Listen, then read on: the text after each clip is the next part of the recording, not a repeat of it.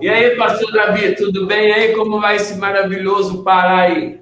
Oi, Serginho. É, graças a Deus aqui o nosso querido estado, é, apesar dos pesares dessa pandemia, mas está tudo bem. É, e aí o nosso querido estado do Espírito Santo, como está? Também, tá é o mesmo problema que vocês atravessam aí. Nós, né, o planeta, nessa né, pandemia, mas tirando isso, nós estamos aí com muita esperança, né, e animado, otimista, né, tivemos informações aí e você já está é, fazendo esses 100 dias agora e né, você está indo bem, isso é muito importante, dando esperança ao povo. E é isso que nós vamos bater esse papo agora aí para, sabe, se a gente puder jogar alguma experiência nossa e as informações que eu sei se você foi vereador muito tempo, né? Eu também fui vereador quatro anos, mas quando eu entrei para ser prefeito que eu vi que não adianta nada ser vereador e ser prefeito, que uma coisa não tem nada a ver com o outro. Porque ser prefeito, é... ser vereador é passar férias em Paris. Ser prefeito é passar férias na faixa de Gaza. É tiro para tudo que é lado, não é isso, pastor? É,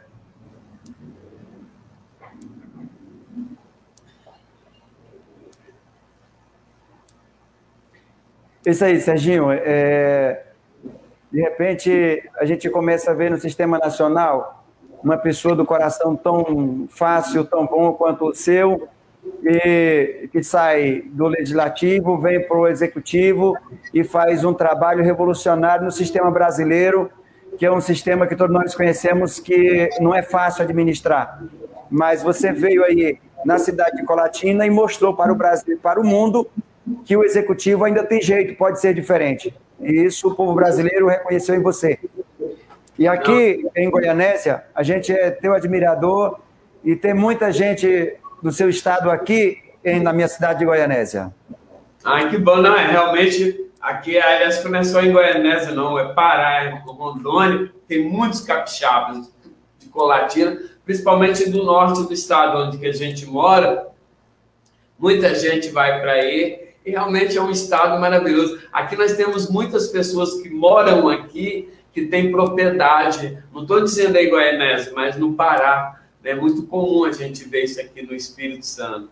E graças a Deus é um estado bonito, maravilhoso, rico, né? Cultura muito rica, a comida típica daí, né?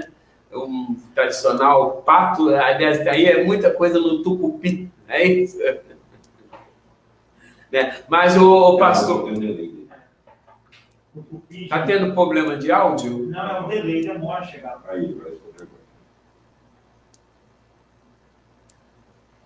É assim, o meu áudio está um pouco tá um pouco atrasado, Serginho, o meu áudio aqui. Eu tenho que te esperar ainda um pouco para terminar a tua fala. O nosso estado do Pará, como você fala e, e fala com muita propriedade, de fato é um, um estado é muito rico. E a minha cidade de Goianésia, que tem 39 anos, aí um pouco mais de 40 mil habitantes, e está aqui no sudeste do Pará, um município é, bem importante, numa região bem importante do estado do Pará. Nós ficamos aqui na PA 150, trevo com a PA 263, um ponto bem estratégico. Qual é a cidade grande mais perto aí de, de Goianésia? Qual a cidade maior? A cidade maior que nós temos aqui é a cidade de Marabá. Nós estamos aqui a 170 quilômetros da cidade de Marabá e a 370 da capital, Belém. Ah, então vocês estão bem localizados aí. É Marabá. E pertinho de Tucuruí, a cidade da energia, né? 70 quilômetros. Ah, certo. Que legal.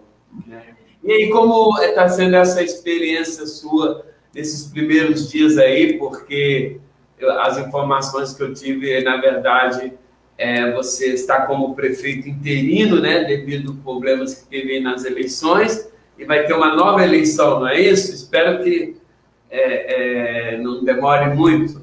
E que, como o senhor está esses 100 dias agora completando, qual, o que, que o senhor sente realmente nessa administração aí para a cidade?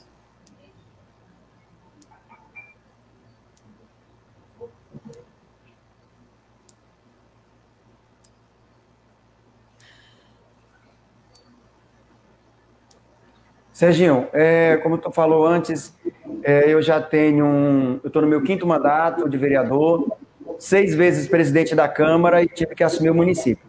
É seis uma vezes? Seis vezes. É, e é uma.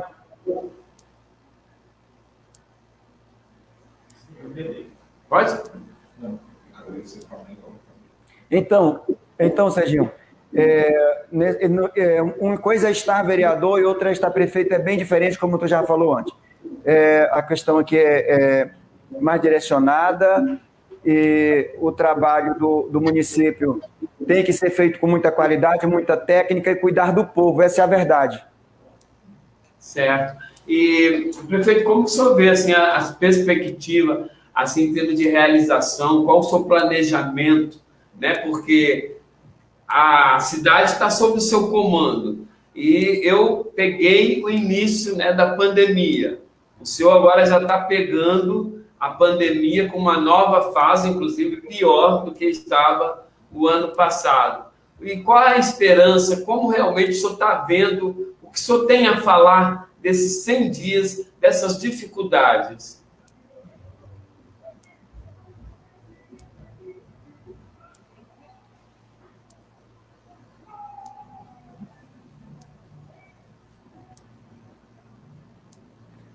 Olha, Serginho, já entramos é, agora em janeiro com esse problema sério de pandemia e uma curva bem acentuada, ainda mais grave do que o, o que tinha sido é, antes do final do ano.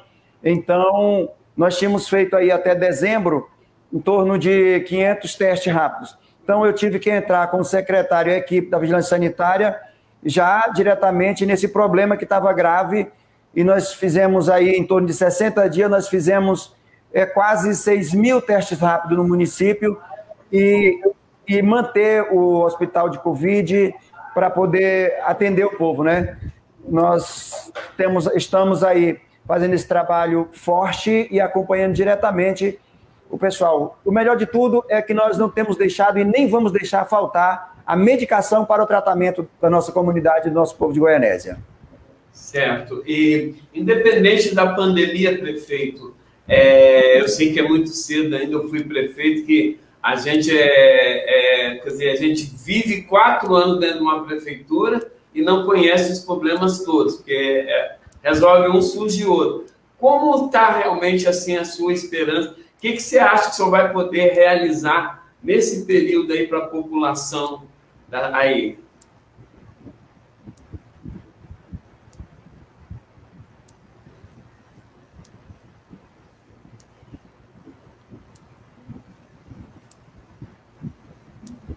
Ah, boa pergunta, Serginho, você me fez agora. A esperança são as melhores possíveis. Nós temos a esperança. Eu estive ontem com, na Casa Civil, com o chefe da Casa Civil, e ontem mesmo eu assinei é, contratos com o Estado, onde a gente vai estar colocando no município, nesses poucos dias agora, a água tratada, que Goiânia ainda não tem, vamos colocar uma boa parte de água tratada na cidade, e também um pouco mais de 15 quilômetros de asfalto aqui no município, que já vai entrar também agora por esses próprios 90 dias. Isso é uma situação para a infraestrutura do município. E, então, logo, isso vai estar acontecendo em Goianésia e uma mão de obra aqui também do município para melhorar é, a vida das famílias aqui no nosso, aqui em Goianésia. É, é muito importante, né? Um estado, como se diz, tão rico em água como é o Pará, né? Está na Amazônia e tudo, e as pessoas têm o direito realmente de ter água em casa, encanada. Então, eu quero te parabenizar essa preocupação sua, porque é, é o básico né, que uma, um cidadão né, é, é, precisa, né, tem que ter. E a gente vê um, um, estado como o Pará, como o Amazonas, na região norte em geral, é com, quer dizer, é, o, é a região que tem mais água, né? praticamente no mundo, né? Porque é o Rio Amazonas e tal. E, e como sou, é, é, eu não consigo entender que eu já fui em várias cidades no norte e eu vejo cidades que falta básico, a água, falta infraestrutura. Aí o senhor encontrou essas dificuldades?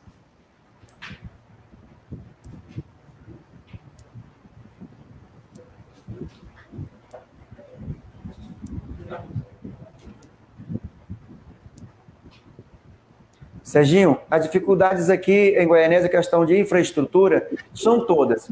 A cidade não tem água tratada e nem esgoto sanitário.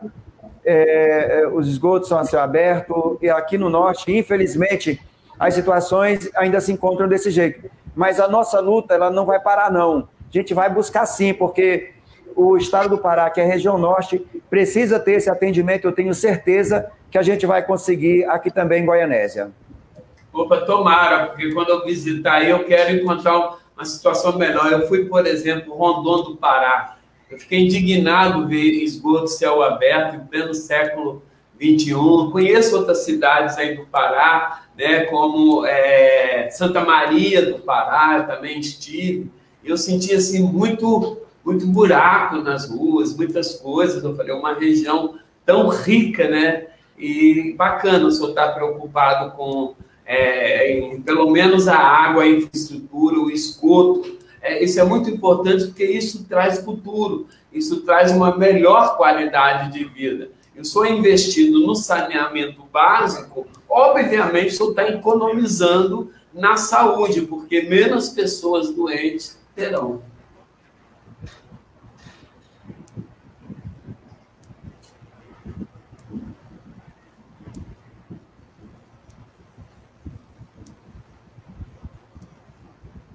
Isso mesmo, Serginho.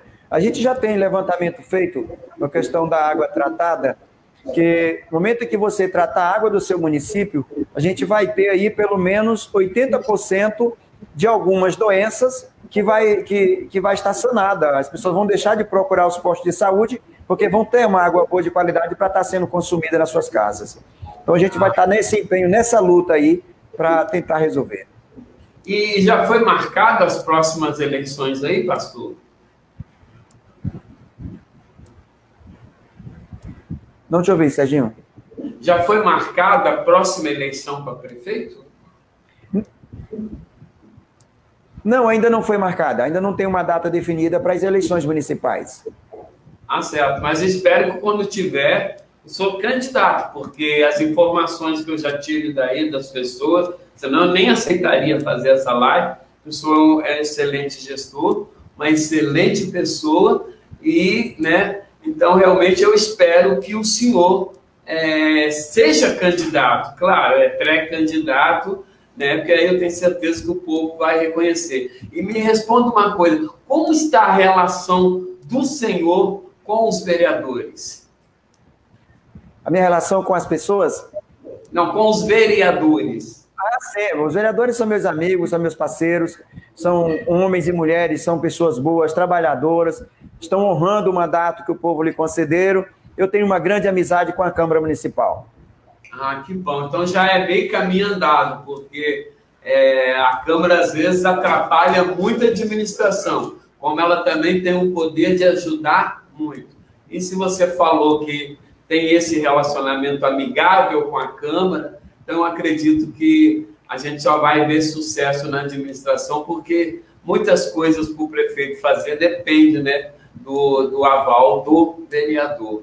Isso aí, pastor. E eu também, pastor, queria que o senhor me perguntasse, só eu estou perguntando aí ao senhor, mas eu vou fazer. É, o senhor já me disse que aí tem esgoto céu aberto, é, falta de água na, na encanada, mas quais, assim, quais as principais carências hoje mesmo da cidade? São essas? Serginho, a região norte, e aí não é um feito só aqui de Goianésia, é, a gente ainda tem a falta de, de emprego, né? É muito grande a falta de, de emprego aqui na nossa região, principalmente aqui na minha cidade de Goianésia. Então, nesse momento, você sabe que o poder público, a prefeitura do município, ela não suporta um número grande de pessoas. Nós temos aí em torno de 1.600 a 1.700 pessoas trabalhando na, na, na, prefeitura. E aí temos o, o, o setor madeireiro, que ainda trabalha legal, e tem, uma, e tem aí acima de mil pessoas ainda nesse setor trabalhando. Temos o comércio, e, que é o, o, o segundo maior empregador, né? Então, o que precisamos aqui na nossa região é justamente isso: é emprego para as pessoas. Isso é uma deficiência muito grande. Ah, mas aí, pastor Davi, isso infelizmente não é só aí não, né? todo local, ainda mais com essa pandemia. Hoje nós somos no Brasil 14 milhões de desempregados, 14 milhões. Inclusive eu estou desempregado no momento. É, Serginho, mas eu quero a, a, é, é, te fazer uma pergunta. À vontade. Você, você veio da Câmara, foi para o Executivo, e quando tu chegou no Executivo, que tu viu que a realidade era bem diferente, e, e as ações e as atitudes a serem tomadas para poder mudar a cara da cidade de Colatina? Olha, eu peguei uma administração, quer dizer, o prefeito tinha ficado oito anos, né? Foi uma, uma sucessão, uma, como se diz, uma gestão mal sucedida, né? Em 2016, quando eu fui eleito, o Espírito Santo atravessou a maior crise, maior crise hídrica da sua história. Houve uma seca aqui, ficou mais ou menos aqui quase sete meses sem cair uma gota d'água. E quando caía, assim, depois, muito pouquinho. Então, foi difícil. Aqui é, eu peguei, herdei é, problemas da lama de Mariana, né? Porque Colatina fica no Vale do Rio Doce. Toda a lama que caiu em Mariana passou pelo Rio Doce é, em nossa cidade. E sem falar outros problemas. Mas eu realmente eu botei a mão na massa, eu falei que eu não, o que eu não tiver dinheiro para fazer, eu vou para improvisar. Comecei a fazer mutirões, comecei a é, é, é, chamar a sociedade a participar e falei, graças a Deus, nós fomos tocando, tocando. Você tem uma ideia, no primeiro ano de administração, eu dei 5% de aumento no meu funcionalismo e 40% a 4, é, 40% é, de insalubridade a 400 garis que nós temos em, em, em nossa cidade. Nós temos 400 garis. Todos receberam. Por quê? Realmente eu falei, não adianta, a situação é feia, era feia. Falei, eu ficar aqui chorando, o povo entregou a prefeitura na minha mão. Aí eu comecei, quando eu fui ver, nós já tínhamos engrenado. E vai acontecer com vocês também, se Deus quiser. O, os seis primeiros meses de governo, sei, é, eu não digo seis, os três, não, os seis primeiros meses, é muito difícil para qualquer gestor, é, a, a, vai se adaptando. O senhor só entrou e já encontrou funcionários que estão aí há 20, há 30 anos na prefeitura. Quando eles querem colaborar, é excelente. Quando não querem, é mais um problema a, a enfrentar. Então, realmente, eu tive, assim, grande dificuldade, mas a coragem de enfrentar foi maior do que as lamentações, porque meu slogan era coragem para mudar. E eu mostrei à sociedade colatinense que nós tivemos coragem para mudar.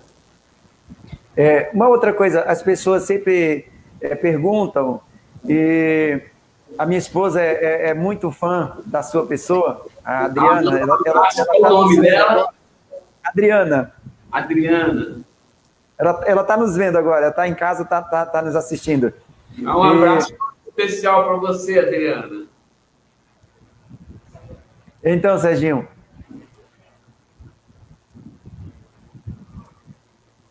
Vai, tô ouvindo. É, é, aí as pessoas perguntam o seguinte: e o, o, Serginho, ele, a gente vê o Serginho fazer, plantando mudas no, nos canteiros é, da cidade, vê o Serginho pintando grades, e será assim só para fazer foto? Isso é verdade. Eu acredito que é verdade, tenho certeza que é verdade absoluta. Mas eh, nada melhor do que fazer essa pergunta a você agora, Serginho.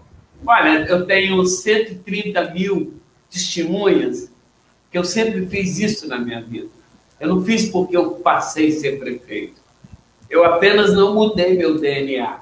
Eu não tenho vergonha de dizer para você agora que antes de fazer essa live, eu fui tomar um banho que eu estava carregando entulho né, eu ajudando o pedreiro, eu estava ajudando. Eu, eu gosto de trabalhar braçal. Agora, eu nunca plantei flor, nunca fiz mutirão, essas coisas na hora do meu expediente.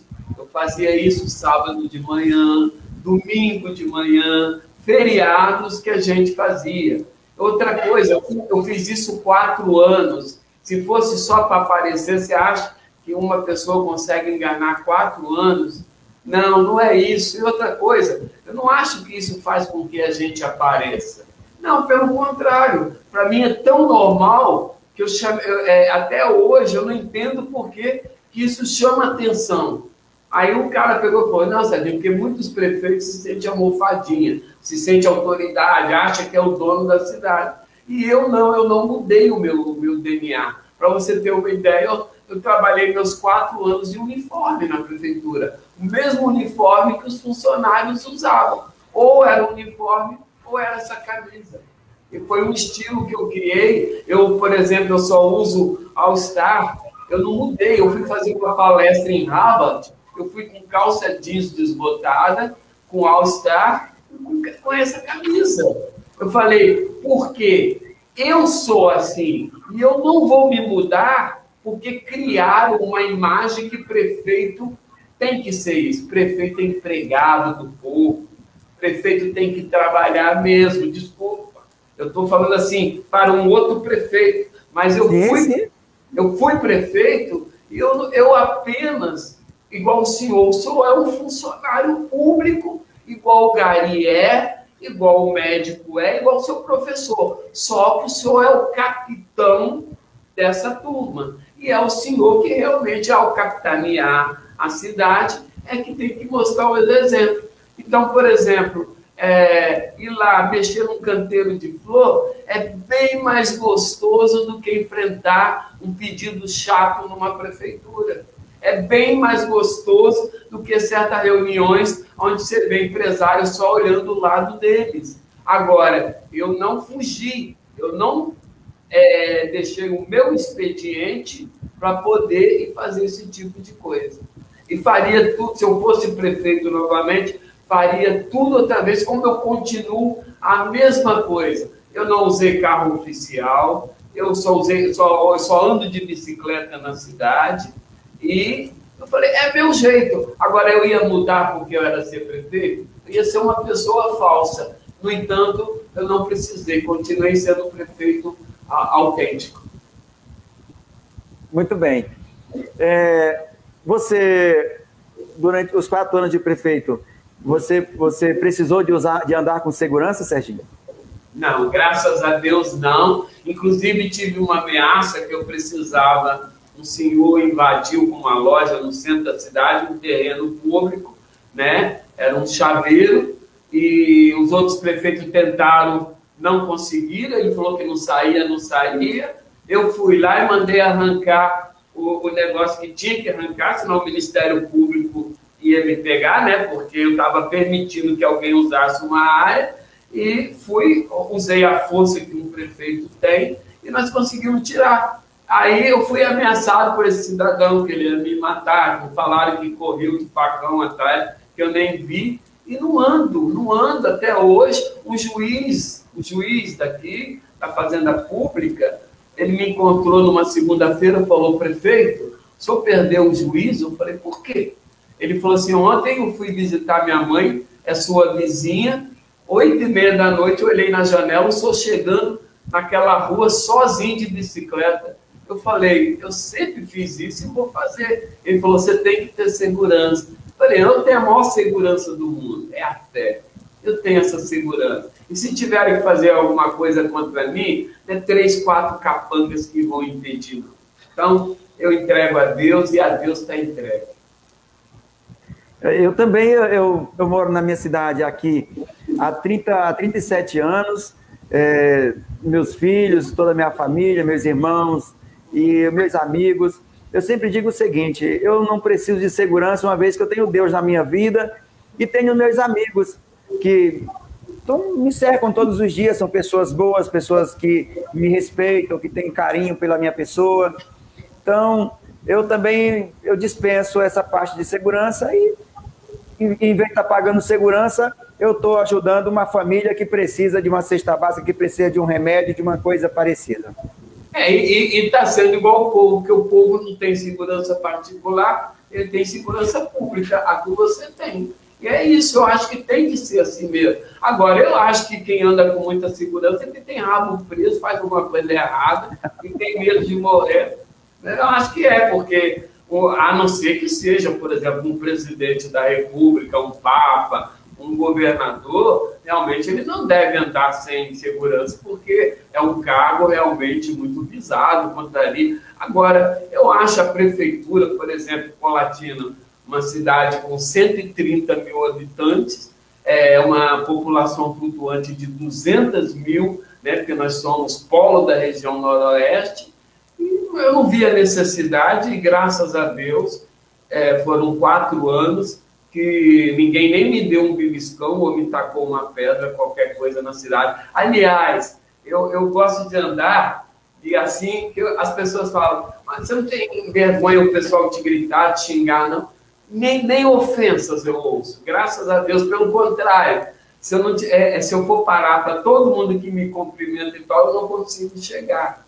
Então, é, eu criei um estilo que as pessoas entendem, entendeu? Então, e é só andar corretamente, de segurança não. E eu, ó, eu não tenho um fio de ouro, eu não uso nada, olha. Nada, nada, nada, porque eu falo, para que ostentar? As pessoas não têm inveja do que nós temos.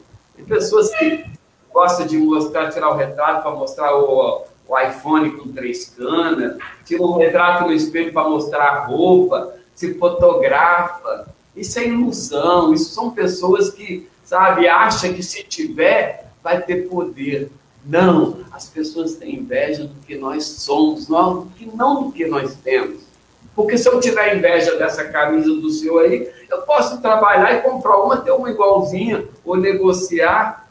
Agora, eu ter a sua personalidade, o seu DNA, se eu tiver inveja, eu vou sofrer, porque eu nunca vou conseguir ser você. Então, eu acho que as pessoas, em vez de ostentarem, né, porque tem muita gente que é assaltado porque chama o ladrão, enche de ouro, bota não sei o quê. Então, falei, é, para que ostentar? Você quer aparecer, você quer ser, ser admirado? É só você fazer o normal, o seu correto, e não precisa de um cordão de ouro ou uma coisa para aparecer, não. Isso só chama ladrão. tá certo. É, Serginho, mas é, eu, agora eu preciso apresentar a minha cidade, que na verdade eu não te apresentei, e eu sei que é, a nossa cidade. Eu já pensei, dia 13 de dezembro vai fazer 42 anos, foi emancipado em 1991, tem usina aí. Olha, eu dei uma olhada na sua cidade, se eu chegar aí, eu já vou em algum lugar. Você sabe que nós temos aqui é, uma parte do lago da usina dentro do Curuí, que, o nosso lá, que é dentro do nosso município, uma área muito interessante, que tem um turismo muito poderoso e que ainda não foi descoberto pelas pessoas, que as pessoas precisam vir ver Goianésia. Goianésia tem 7.200 quilômetros quadrados de terras, de terras boas, boa de soja, boa de milho, boa de feijão, boa de cacau, boa, tudo que se planta em Goianésia se colhe e dá bem. Nós não temos problemas com falta de chuva e nem de água. O nosso município é riquíssimo. O que nós estamos falando aqui em Goianésia é que o nosso pessoal da região sul, sudeste, centro-oeste, veja com mais bons olhos os empresários que vêm investir em Goianésia. Esses moços aí que têm recurso aí para poder é, investir, Goianésia está de braços abertos, chamando esses os empresários para que venham para essa região. Nosso município, nesse momento, é, está em destaque na soja e no milho, e e a porta está aberta aí para quem quer ganhar o dinheiro. Vim colocar aqui os depósitos. Nós estamos aqui a 300 quilômetros do porto de Barcarena, um dos maiores portos deste Brasil, onde se exporta para o mundo inteiro. Apenas 300 quilômetros de distância está aqui esse município grandioso, de portas abertas a receber esses investidores aqui. Serginho, só para deixar para o mundo todo ver Goianésia nesse momento, dizer a todos eles aqui que aqui em Goianésia é, uma hectare de área é, boa para produzir soja e milho, ainda se compra ainda aí por, por 10, 12 mil reais um hectare. que bom. E a gente vê que é tudo plano aí, né? A cidade é plana. Aqui nós temos problemas de morros demais, aí vocês não têm. Eu senti o Pará, é, eu não vi morro aí no Pará. É, é, aqui a nossa cidade tem, por exemplo, é, nós temos áreas boas para a produção de grãos e áreas boas para a, a, a criação de bovinos de, toda, de, de todas as espécies. É, a, nosso município tem áreas para todos os gostos e para os grandes empresários, pequenos e médios, virem para Goianésia e tenho certeza que farão grandes negócios aqui no nosso município e terão nosso apoio, acima de tudo. Daremos os apoios necessários para que os empresários venham ver nossa terra, venham falar com o nosso, com nosso povo aqui, venham investir na nossa região. Isso é muito importante. Eu agradeço o Leonardo Marques aí, que diz que o senhor está se espelhando no melhor prefeito do Brasil. Obrigado, Leonardo, não precisava de tanto. Mas eu acho muito importante eu sentir que o senhor é um bom gestor só em querer atrair coisas para a sua cidade. E é o que eu faço também, né? Botei colatina no peito. Hoje o Brasil todo já ouviu falar em colatina. Eu, eu, é, é, e, então, por exemplo, o que, que a população tem que fazer aí? É realmente fazer o que o senhor está fazendo. Um empresário que está aí, convida um empresário que ele conhece em São Paulo, no Rio Grande do Sul, ou mesmo aí no, no estado do Pará. Vamos lá conhecer, vamos lá ver como você vai estar lá. A prefeitura dá incentivos, é cada um, porque a cidade é uma família da gente. Se a gente falar bem da família da gente, as pessoas passam a ter curiosidade. Agora, se o senhor criticar a família do senhor, todo mundo vai querer se afastar. Assim é a cidade. Então, parabéns e faça uma campanha. Faça uma campanha nas redes sociais. Invista invista aqui, aqui é um bom lugar para se investir, aqui é um, um bom lugar para se viver. E também é claro que é, a prefeitura tem uma obrigação muito grande também de proporcionar uma melhor qualidade de vida à população através do lazer, da cultura, da educação. Nessa época agora de pandemia, nem se pode pensar né, muito nessas coisas em lazer, mas nesse momento, como você fala que vocês têm condições de, assim vai nessa, tem condições de crescer dessa forma, faça propaganda, divulga o município, começa a divulgar e comparar e vai divulgando, que eu tenho certeza que uma fábrica que for para aí gera 100, 200, 300 empregos. Olha, Serginho, nós temos aqui, como eu te falei ainda agora há pouco, da nossa região dos, do, do, dos lagos, é, nós temos aqui um frigorífico de beneficiamento de pescado que desde 2011 está parado, ele já foi, foi investido lá 8 milhões de reais, isso não conseguiu ainda ser terminado, está parado, as máquinas, o equipamento está no chão, alguns estão colocados já nas plataformas, e eu tenho intensificado a minha luta para que é, é, isso seja é, terminado e venha entrar em funcionamento, porque nós temos uma quantidade grande de pescado nessa região. O tucunaré, que é um peixe típico aqui da, da Amazônia, como você sabe. Também temos uma pará, pescada branca, entre outros, e é em grande quantidade esse pescado aqui. E nós estamos, nós estamos aí com uma conversa, inclusive dia 21 agora de abril, com o empresário da Fresco Mares, que trabalha com pontagem de peixe enlatado e também com a ração, e nós temos lá o, a, a, o galpão com o equipamento para fazer a farinha dos restos dos pescados. E isso é uma luta da, da gente. Eu tenho certeza que tão logo isso venha a se concretizar. Nós, temos, nós estamos numa região é, que nós chamamos aqui do entorno do lago, somos sete municípios e formamos um consórcio que é o Comparte. E, inclusive, o Comparte vai estar com o nosso governador agora, dia 14, às, às 15 horas. E esse assunto vai ser tratado, porque o empresário que vai tratar com a gente nesse frigorífico e entre outras ações aqui no nosso município aqui do Comparte, e a gente vai tratar com o governador, tenho certeza que essa região vai, vai ter um sucesso muito grande. E Goianésia não vai ser diferente. A minha esperança é a melhor e maior possível. Goianésia vai ser destaque no Brasil, você pode ter certeza. Aí, ó. E... O povo está gostando de você divulgar a sua cidade. Olha o Romário Sampaio, parabéns, prefeito, aplaudindo. A outra pessoa, bonito, o nosso prefeito divulgando a nossa cidade. Hoje você já fez, está aí agora a Lene Rocha, 100 dias de governo, vem mostrando a diferença. Espero que faça mais. E é isso aí, se 100 dias mostrou a diferença, imagina no restante, hein? Se Deus quiser, Helena, Elane Rocha, né?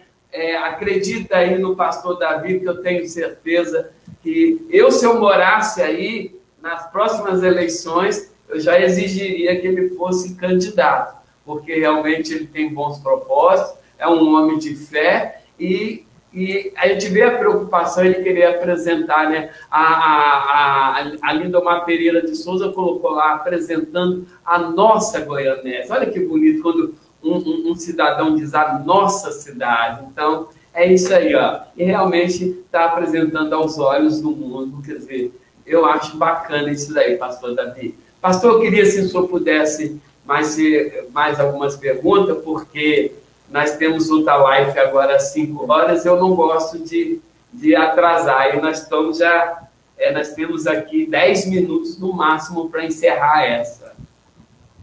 Certo. E, e, Serginho, eu sei que a educação no Brasil, ela não, não, não, não, não esteve, nunca teve bem, não está bem, como o Brasil precisa e merece estar. E, e Colatina, o que que tu fez para dar uma melhorada na educação de Colatina? Olha, eu quando entrei aqui, primeira, a primeira coisa que eu encontrei foi uma demanda do Ministério Público, onde mais de 50 escolas já tinham assinado um TAC, o ex-prefeito tinha que ser reformado. Nós começamos a reformar as escolas. O professor, no último ano, eu comecei a corrigir o piso salarial, porque, por exemplo, é, o piso salarial do professor é só aumenta quem ganha lá embaixo. Quem já está 30, 10, 15 anos, não tem aumento quando o governo, por exemplo, em 2020, aumentou é, 12,5% o piso salarial. A maioria das prefeituras só deram para aqueles que ganhavam abaixo para igualar. Eu não, eu dei para aqueles e o restante dos professores, professoras que já ganhavam acima do piso, eu dei 7,5 para aí começar a corrigir. Porque desde que foi implantado o piso salarial do professor, os, os prefeitos geralmente não corrigem, só pagam o mínimo.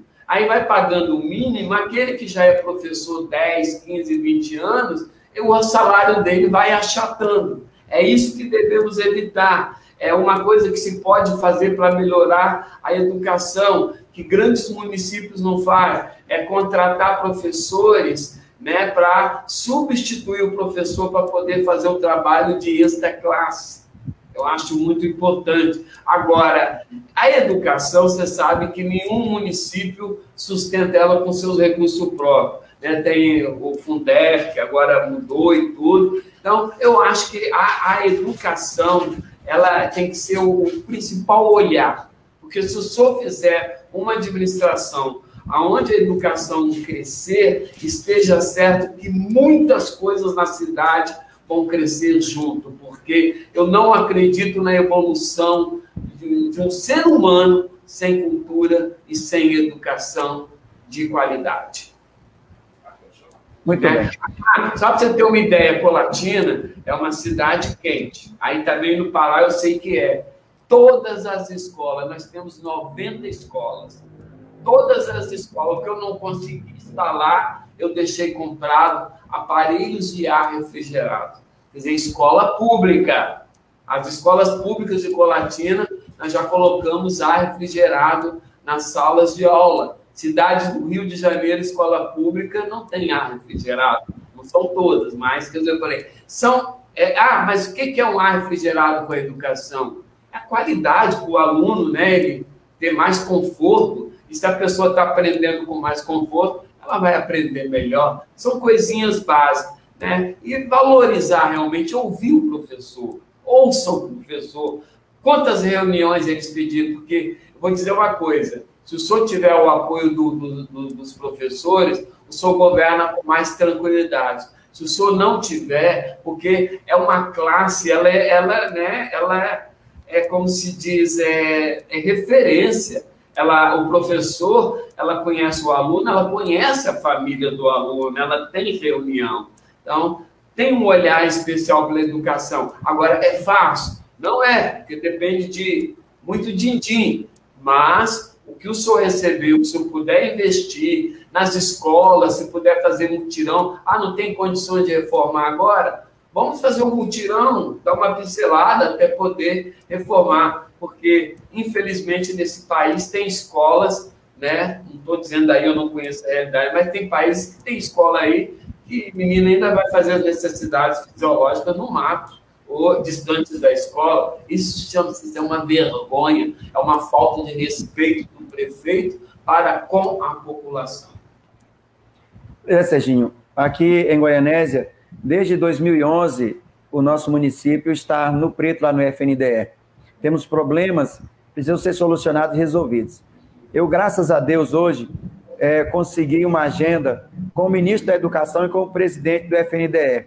O professor Lindomar, que é o nosso secretário de Educação, está nos vendo aí. Olha, Lindomar, é dia 15, Brasília, meu irmão. Vamos estar lá, nós tratarmos da educação de Goianésia.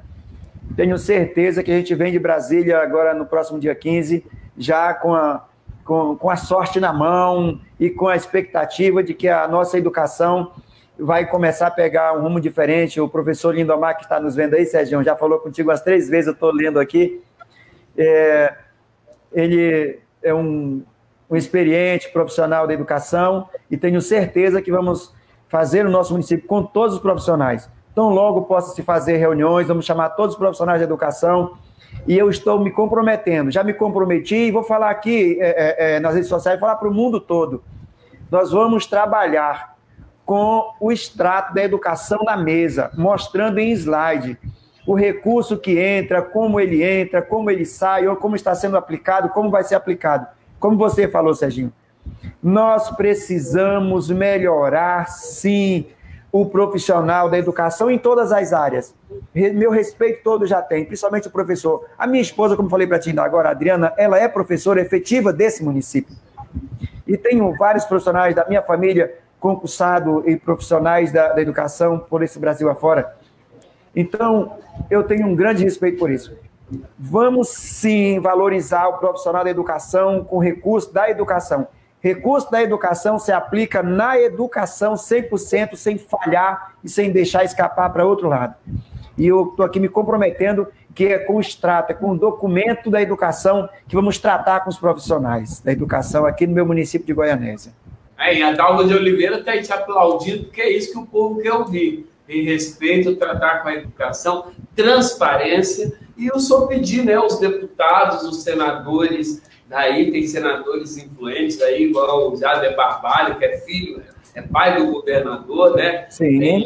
A família toda é política, eu soube dele lá, a mãe é deputada e tal, é pedir emenda, emendas parlamentares para vocês conseguirem, né? Cada deputado tem tantas emendas por ano, cada senador emenda para construir creche, né? É, não é fácil. Eu, eu, eu fui para Brasília um monte de vezes para conseguir creche, às vezes a gente não consegue. É difícil, mas é tentar. Luta pela educação, que o senhor está lutando para a cidade toda. É isso daí, tá bom? Eu acho que o senhor está no caminho certo, tendo esse olhar pela educação. O senhor fazendo uma live, se expondo assim e divulgando o município, que eu tenho certeza que quando vencer o seu prazo, aí o povo vai falar: fica, fica, fica. Entendeu? Tenho certeza. Isso aconteceu comigo, eu decidi sair, mas até hoje as pessoas pedem para a gente voltar. O Milton Araújo está dizendo: esse prefeito Davi é um mito. Que bom que o senhor é um mito, entendeu?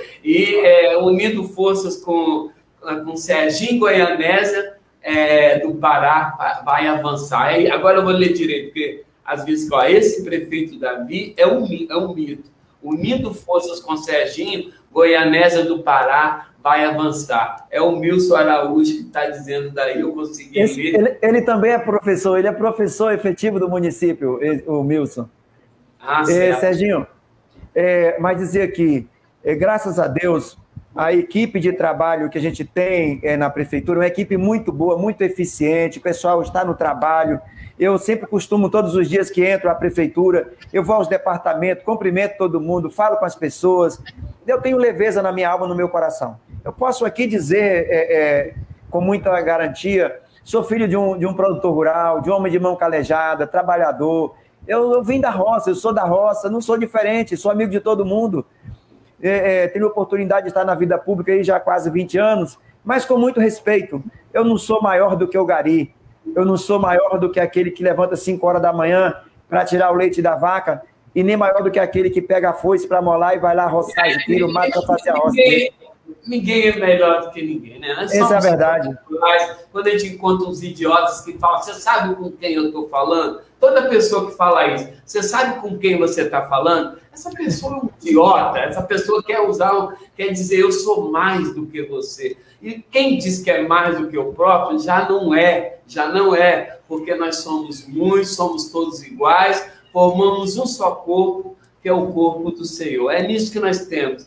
O pastor Davi, infelizmente, a produção aqui já está falando que eu, eu, tenho um compromisso agora, mas a gente vai ter uma oportunidade. Passando essa pandemia aí, se Deus quiser, nós vamos visitar o Aenésio do Pará. E eu gostaria de continuar, mas já tem uma hora que nós estamos batendo papo e eu pensei que não ia ser tão grande assim. Nós marcamos uma agora para o estado de São Paulo às 5 horas. E eu vou ter que, infelizmente, encerrar, mas dizer que eu senti que o senhor está no caminho certo. Parabéns, parabéns, é, Davi. Aí, como o Henrique Aguiar está dizendo, junto com ele aí, com toda a população, os 40 é, é, é, mil, digamos aí, 40 mil habitantes, né, que vocês têm mais ou menos, é isso? Isso. É, é, no, no, no, último censo, mas nós trabalhamos aqui uma cidade acima, acima de 50 mil habitantes, tenho certeza disso. É, então. Serginho, Aí eu queria, assim, desejar muito sucesso mesmo, e o que depender da gente para ajudar, nós estamos à disposição. E a gente marca uma próxima live mais adiante, porque se a gente também, né, as pessoas não podem ficar também uma hora vendo dois prefeitos conversarem, ainda mais um horário desse, que é hora de serviço e tal. Mas é isso aí, ó. Eu achei bacana. Aqui em Colatina, muita gente tomando é, é, consciência da cidade né? Então eu falei assim, nós passamos o link para muita gente assistir. E é isso aí, nós estamos à disposição de vocês aqui. Convido também o dia que o senhor quiser. Não esse ano, não. Esse ano eu não convido para ninguém vir a Colatina, não. Cada um fica no seu lugar, porque nós não podemos espalhar esse vírus Brasil afora, não. Não está na época. Mas assim que for possível, né, visitar a nossa cidade. Mas antes, eu quero visitar aí, se Deus quiser. Serginho, você pode ter certeza é, que a gente vai se encontrar aqui em Goianésia, você vai vir aqui em Goianésia, vai ver nossa cidade, que é uma cidade maravilhosa, de um povo acolhedor. Nós temos gente de toda parte do Brasil que mora aqui em Goianésia, é uma cidade muito interessante, muito importante, e, e um povo que está aí esperando, e tem muitas esperanças, as esperanças é, elas brotam também da, da, da, coisa pública e quero dizer que as pessoas podem confiar na minha pessoa, eu não tenho dificuldade de tratar nem falar com ninguém, até porque não sou melhor com ninguém. Moro há 23 anos na mesma casa, nunca foi diferente, minha porta aberta todos os dias, ando pela cidade, como meu pastelzinho pela praça, por toda parte aí, e me acho mais importante do que ninguém. Tem muitas pessoas. Ninguém, é, ninguém, é, quem, ninguém, se acha, quem se acha mais importante do que o outro é um grande idiota. Ele é, ele é mais idiota, quem acha. Essa é a verdade. Não está certo. Então, pastor, olha. Eu agradeço. Eu, eu agradeço. Falo, foi um prazer falar com vocês. Essas pessoas aqui, depois eu vou assistir essa live, vou ver o nome delas aí todas. Infelizmente não deu para ver, mas assim, eu fiquei feliz e esteja certo que a cidade está no rumo certo, como o senhor falou aí, com esse olhar especial. Aí, o, é, sabe, a gente pede, é como se diz, é, para realmente eu continuar com essa força. O Gabriel Porto está dizendo que dá vontade de ouvir esses dois conversando mais.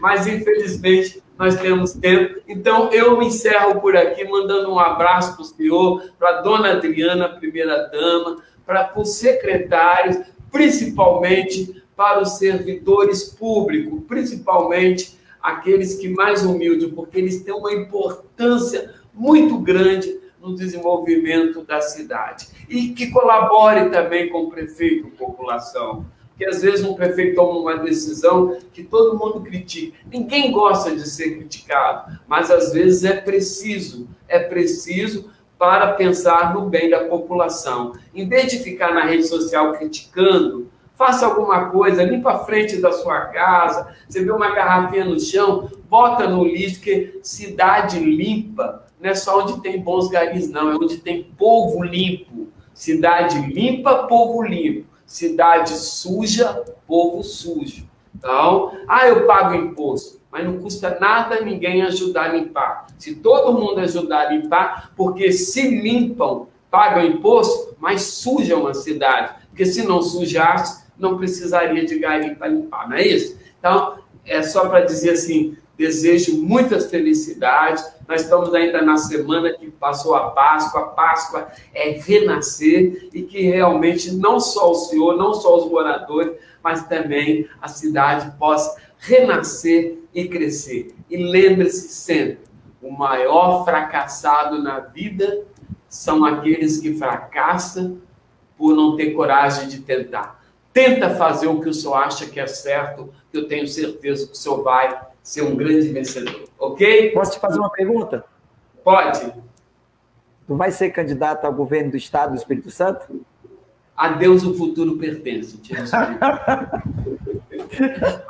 Mas não pretendo, não. Não pretendo, não. Eu vou, te apresentar, eu, vou, eu vou te apresentar aqui só um pouquinho da minha equipe que está aqui, o pessoal que está aqui. A, outra câmera está lá me chamando. Olha aqui. Oi, a Mária, nossa diretora, nosso secretário ah, de administração, legal, nossa turma boa aqui, então, da nossa a comunicação. a minha camisa também era de uniforme azul, assim, ó, bacana, olha, legal. Um abraço para vocês e nós vamos ter outra oportunidade. Passou tão rápido, mas nós começamos uma hora, passou. Uma hora.